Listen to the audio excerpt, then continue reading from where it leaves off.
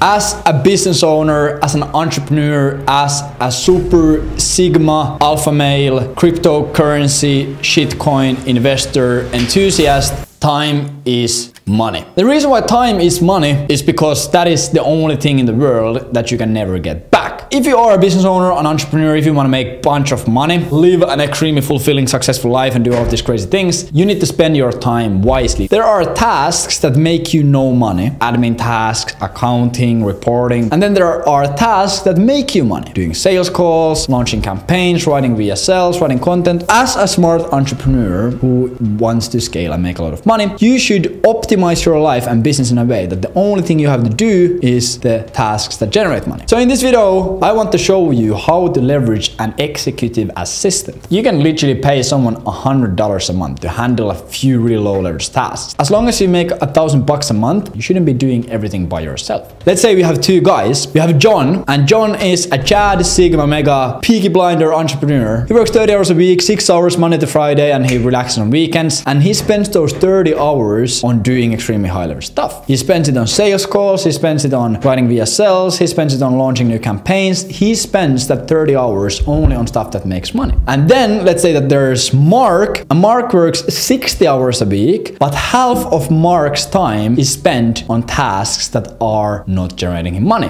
Admin, accounting, reporting, buying domains, scraping leads. So in this scenario, John and Mark, they both put in the same amount of work in actual revenue generating tasks. But the difference is that John, who only works 30 hours a week compared to Mark, who works 60, John is going to produce way higher quality work because his brain is more refreshed, he has more mental capacity, he has more energy, he doesn't have to focus on so many things, he has a better flow state, and he just makes more money. So in this video, I'm going to show you how to get an executive assistant, how to train them, because that is the hard part that everyone struggles with, and how to optimize it for long-term growth and for you to actually benefit from it. The one thing that we need to understand is there are a lot of really, really, really talented executive assistant and assistants out there in the world. If you work with someone like that, your experience is going to be extremely easy. They are really, really active about it. But the small problem with that is usually assistants with that experience tend to earn a pretty nice income. Talking like five, six, seven, ten thousand dollars a month. At least I don't really have 10k a month to spend on an executive assistant. So I had to take the other approach, taking someone with a bit less experience and training them up myself. This way you can save a lot of money. And you can have an executive assistant who works on project basis, on hourly basis, or on a monthly retainer. If you're making like two, three, four, five thousand a month, then probably an executive assistant with an hourly rate or a project-based rate makes more sense because they can just do one accounting task a week or scrape some leads or set up some domains for you and they will invoice 100 bucks at the end of the month and you save 10 hours. And then when you start making 10, 15, 20 and you want someone who is fully focused on your business only, you can get someone a retainer. Pay them 1.5 to $3,000 a month. Now you might be thinking, okay, this makes a lot of sense. I would really, really love to have an executive assistant. Where am I gonna find one? In my opinion, there's two routes to this. The first way is obviously just go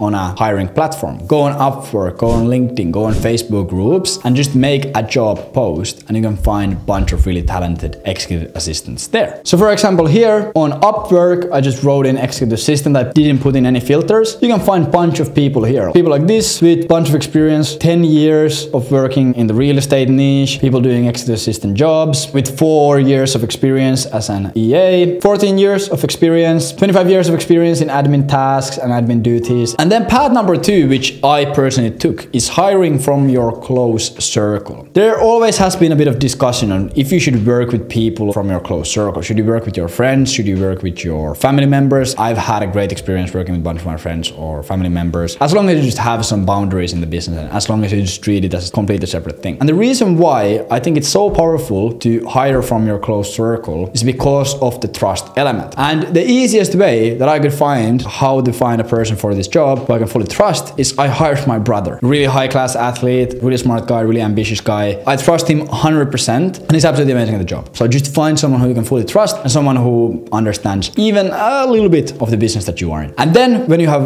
interviewed them, when you have hired them, now we go into the hard part. This is something that I have really struggled a lot with and I know a lot of my friends used to struggle a lot with. They had EAs and they had different assistants, but they didn't know what kind of tasks to give them. They would end up firing them two months later and they just pretty much did nothing for two months. Let's say you have some kind of an accounting task. It might take you 30 minutes a week and training that task would take two hours. You might think, oh, I can just do this in 30 minutes instead of spending two hours on it. But you need to remember that saving time in these cases is compounding. Yeah, you can do it in 30 minutes and do it every single week, or you can spend two hours once and let them do it for the next year. And you save the 30 minutes every single week, and that compounds. First thing you want to do is you want to perform a time audit. You start by keeping track of everything you do for a week. Rescue time or Toggl, I'm totally going to track your computer activity, and for non-computer tasks, keep a manual log. I personally just like to use Google Sheets and a stopwatch. So pretty much what you just do is write Monday, and then you like write down all the tasks that you do and like how much time you spend doing them. And pretty much the aim here is to document every activity, no matter how small. Then you go into analyzing your time audit. Once you have collected the data, analyze it, identify tasks that can be delegated to your EA, and this could include responding to emails, scheduling appointments, social media management, paying invoices, booking flights and hotels, simple research tasks, basic accounting tasks. Look at all the tasks that you have done during the week when you did the time audit and ask yourself, did this task make me any money? If I stop doing this task, would I make less money? So take all of those tasks and write them down. Then you move into step three, which is creating a delegation list. From your analysis, create a clear list of tasks that you will delegate to your EA. Define each task, the expected outcome, and the frequency. So is it a daily task, weekly task, or a monthly task? You go into step four, which is inventory, your tools and accounts. Your EA will need access to in order to carry out the